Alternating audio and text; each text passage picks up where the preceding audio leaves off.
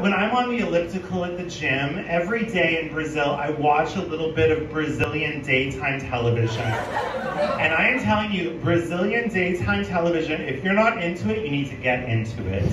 It is like an acid trip. There's this one talk show, the most popular talk show in Brazil, it's on every day. It's with this woman, and she's like a crazy aunt. You know how we all have one crazy aunt? That's her. Her name is Ana Maria.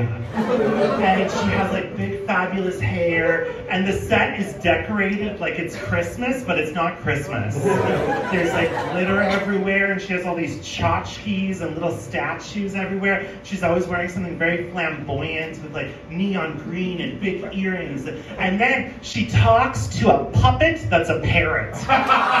There's this big parrot that she talks to, fully talking parrot, like having like conversations as if it's a person. Like I, I'm wondering if she knows it's a puppet. And so, so half of the show is them recapping Big Brother. Like last night's episode of Big Brother, they like for 30 minutes, like they might as well just repeat Big Brother.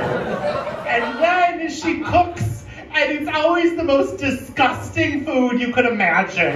Like Ana Maria is there with the parrot, and the parrot's like, Ana Maria, loca. And it's like burnt chicken, and then she'll just take a bunch of raw tomatoes and put them in a blender, and it'll be this like frothy tomato juice she'll put on the chicken, and then just put in like a quart of milk, and it'll be this like chicken tomato soup milk thing. And then the parent's like, oh, loca. And I'm just on treadmill like, oh my God, this is really helping with my diet. Again, Ana Maria's disgusting food I'm never to eat again. Uh,